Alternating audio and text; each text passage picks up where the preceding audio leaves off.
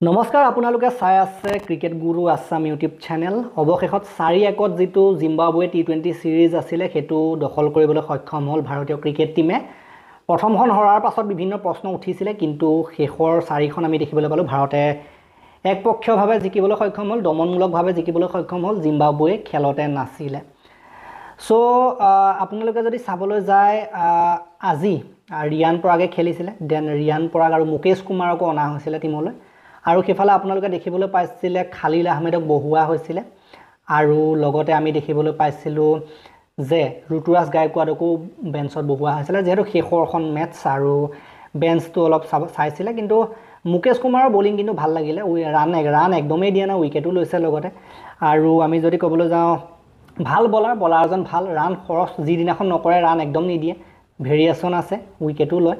যিদিনাখন পিটন খায় সেইদিনাখন বেলেগ কথা। এদিন দুদিন এনেও সাধাৰণতে বলাৰৰ কাৰণে বেয়া যায়। কিন্তু মুকেশ কুমাৰে যিদিনাখন বলিং ভাল কৰে সেইদিনাখন কিন্তু ধুনীয়া বলিং কৰে ৰানো কিন্তু কম দিয়ে সেইটো ভাল লাগে সেইটো কাৰণে এজন পেচ বলাৰ হিচাপে। বাকী আপোনালোকে যদি চাবলৈ যায় ৰিয়ান পৰাগক সুযোগ দিছিলে যদিও ৰিয়ান পৰাগে আমি দেখিবলৈ পালোঁ যে চৌবিছটা বলত বাইছ ৰাণ এনেকুৱা এটা ইনিংছ খেলা দেখিবলৈ পালোঁ এটা ছয় আছিলে।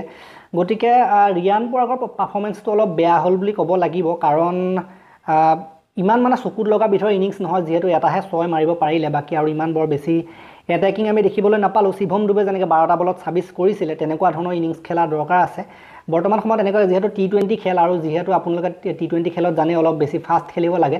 টি টুৱেণ্টি খেলত যদি সেই এদিনীয়া টাইপত চৌবিছটা বলত বাইছ থাকে সেইটো কিন্তু কোনো পধ্যে ভাল কথা নহয়। গতিকে এইটো ছিৰিজত কিন্তু ইণ্ডিয়াৰ কাৰণে প্ৰমাণ কৰাত নিজকে প্ৰুফ কৰাত কিন্তু বিফল হ'ল ৰিয়ান পৰাগ। আৰু ইয়াৰ পাছত যদি সুযোগ পায় তেতিয়া আমি চাব লাগিব কি কৰে কি নকৰে। কিন্তু এইটো ছিৰিজ সম্পূৰ্ণৰূপে ভালদৰে নগ'ল। ৰিয়ান পৰাগৰ কাৰণে ডেবিউ হ'ল। দুখন মেচ খেলিবলৈ পালে কিন্তু তিনিখনেই খেলিবলৈ পালে। এখনত বাৰু বেটিং নাপালে। গতিকে বেটিং যি দুবাৰ পাইছিলে সেই সেই দুবাৰ কিন্তু নিজকে দেখুওৱাত বিফল হ'ল। ডাঙৰ ডাঙৰ হিটিং কৰাত কিন্তু বিফল হ'ল। বাকী যি কি নহওক ওৱান ছিক্সটি ছেভেন ৰাণ কৰিছিলে ছটা ছটা উইকেটৰ লোকচানত ইণ্ডিয়াই। One sixty eight run target আছিলে। জয়ছোৱাল বাৰ শুভমান গিল তেৰ ষ্টাৰ্টটো ইমান ভাল নাছিলে অভিষেক শৰ্মা চৈধ্য। চেমছনে আজি ভাল খেলিলে আঠাৱন্ন ৰাণ সৰ্বাধিক ৰাণ তেখেতে কৰিলে ৰিয়ান পৰাগে চৌবিছটা বলত বাইছ আৰু শিৱম ডুবে বাৰ বাৰটা বলত ছাব্বিছ দেন ৰিংকুৱে নটা বলত এঘাৰ ৱাশ্বিংটনে এটা বলত এক।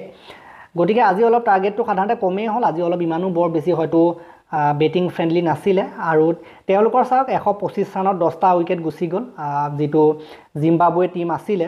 আৰু আপোনালোকে যদি চাই তেওঁলোকৰ সৰ্বাধিক ৰাণ মায়াৰ্ছে মায়াৰ্ছে কৰিছিলে চৌত্ৰিছ দেন সাতাইছ সাতাইছ কৰিছিলে ফাজ ফাৰাজ আক্ৰম আৰু মাৰুমানীয়ে। বাকী ইণ্ডিয়াৰ বলিঙৰ কথা ক'বলৈ গ'লে আপোনালোকে যদি চাই মুকেশ কুমাৰে বাইছ ৰাণ দি চাৰিটা উইকেট ধুনীয়া প্ৰদৰ্শন আজি কৰা দেখিবলৈ পালোঁ। তুষাৰ দেশপাণ্ডে ছাব্বিছ ৰাণ দি এটা ৰবি বিষ্ণুৱে তেইছত উইকেট নাই। ৱাশ্বিংটন সুন্দৰ দুই অভাৰত সাত ৰাণ দি এটা। অভিষেক শৰ্মাই তিনি অভাৰত বিছ ৰাণ দি এটা আজি আকৌ এটা উইকেট পাইছে অভিষেকে।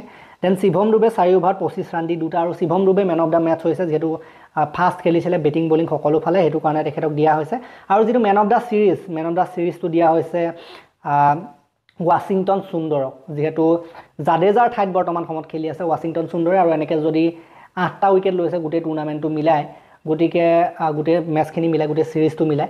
গতিকে চাবলৈ গ'লে ৱাশ্বিংটন সুন্দৰে জাডেজাৰ জেগাটো লাহে লাহে লৈছেগৈ আৰু ইয়াৰ পাছতো ভাল প্ৰদৰ্শন কৰাৰ দৰকাৰ আছে। বাকী আমি যদি ক'বলৈ যাওঁ গোটেই ছিৰিজটোৰ কথা ৰবি বিষ্ণুৱে ইমান বৰ বেছি কেতিয়াবা উইকেট লৈছে কেতিয়াবা উইকেট নাই লোৱা তেনেকুৱা হ'ল। ৰবি বিষ্ণুৰ ফালৰ পৰা সাধাৰণতে অলপ বেছি আশা থাকে কিন্তু এইবাৰ কোনোবা কোনোবা মেটছত সাধাৰণতে উইকেট লেছো গৈছে। আৰু আমি যদি চাবলৈ যাওঁ মুকেশ কুমাৰ শেষৰখন মেটচ হিচাপে ভালেই কৰিলে। আৰু বাকী আমি যদি ক'বলৈ যাওঁ ৰিয়ান পৰাগৰ পাৰফৰ্মেঞ্চটো ইমান ভাল নহ'লে এইবাৰ। গতিকে আমি চাবলৈ আশা কৰিছিলোঁ ৰিয়ান পৰাগক কিন্তু কাম নহ'লে। বাকী যি কি নহওক ছিৰিজটো জিকিলে সেইটো ভাল লাগিলে আৰু ইয়াৰ পাছত নেক্সট শ্ৰীলংকা ছিৰিজ আহিব তাত কি কৰে কি নকৰে চাবলগীয়া হ'ব।